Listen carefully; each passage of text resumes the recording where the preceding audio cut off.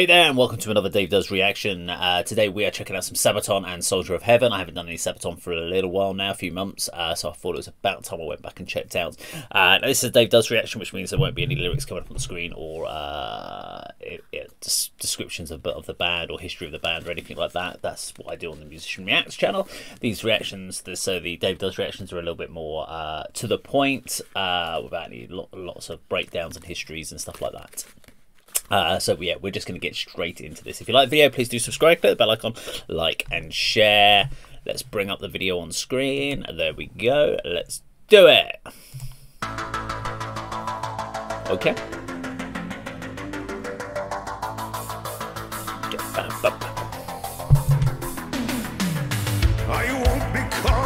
I don't remember Sabaton doing much keyboard related like samples and stuff in their stuff before.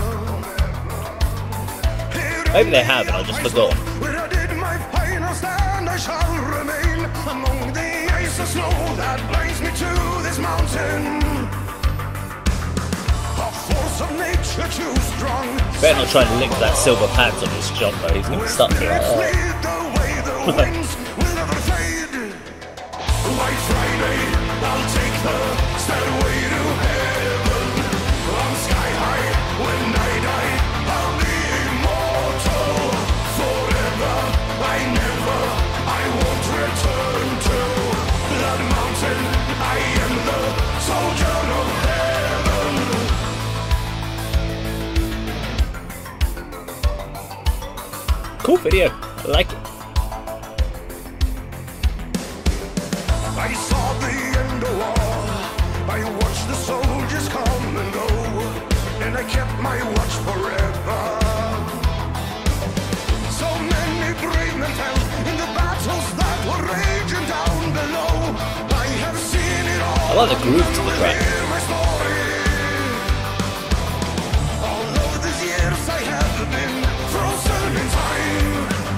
I like that.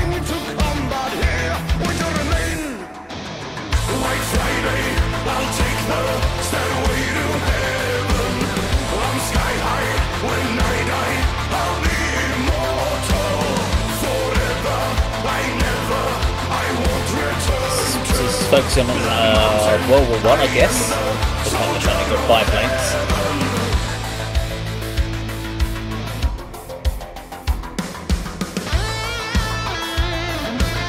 Guess French, was it French Alps, Swiss Alps? French Alps, I guess.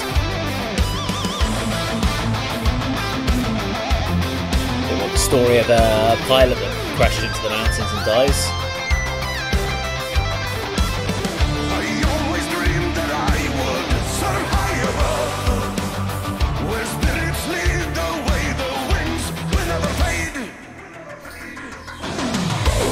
World War II fighter jets.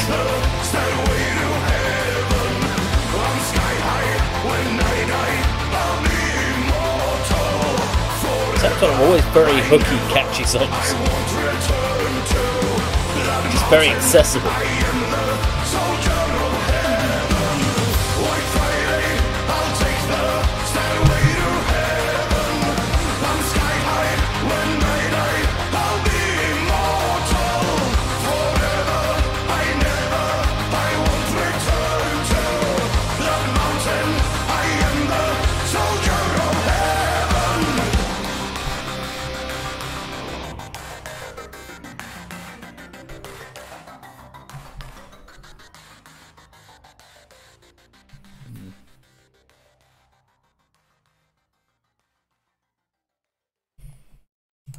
Okay, there we go. Sabaton and Soldier of Heaven. Good track. Uh, liked it again. As I was saying, uh, Sabaton is very accessible. I mean, I've listened to a fair bit of Sabaton, um, but I've got into sort of more sort of other power power metal bands. So you've got like Beast in Black, Battle Beast, uh, Glory Hammer.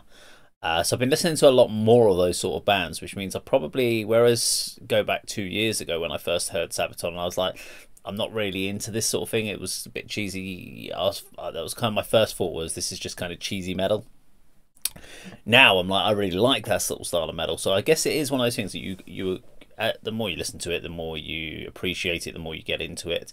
Uh, I like their storytelling element. So obviously about the, I don't know if it's specifically about one particular person they're talking about in this video, or if it's, um, as they put at the end, they're dedicated to all the heroes that never came home, who never came home. Um, it's a, it's an odd one because obviously they we're, we're looking at it from one side of it, and then you you look at it from the other side, from like the Germans' point of view, um, and they'll probably feel the same because they thought that they were doing people that were the soldiers in that side of the war were thinking they were the ones that were right and they were doing the right thing. I don't think, apart from the people at the top, I think the soldiers genuinely thought a lot of them were thought that they were doing what was right.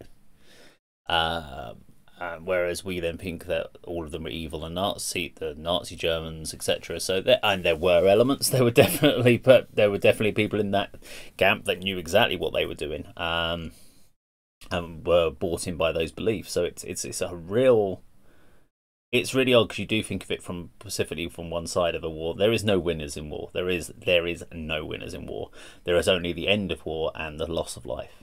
Um, and so yes, it's uh, it's it's sad for the amount of people that have obviously died in what we um now. It says the, the war to end All war, so I would assume that the, that at that point refers to World War Two. So we're talking about with the Great War, which was World War One, because we saw biplanes in there, so they were obviously an element from that. By the time we got to World War Two, we had the Spitfire Hurricanes uh, from uh, the uh, Allied forces, uh, and what was it? Be the was it Mustangs? I think were the American American uh, single prop planes that were used in the war. I think they yeah they they had I think they had the Mustangs, we had the Spitfires and the Hurricanes, and then there was a whole host of ones which the uh, the Germans had the Stuka, um, Messerschmitts. Trying to think of the other ones that they were in there. I used to know this when I was younger. Uh, my brain's gone nowadays. Uh, but anyway, so, is very easy to get into, very catchy. Uh, just kind of bop you head, you just head nods along to it, uh, and just yeah, great track. I thoroughly enjoyed it. Uh, if you like the video, please do subscribe, click the bell icon, like and share. And with that, of course, how Dave does it.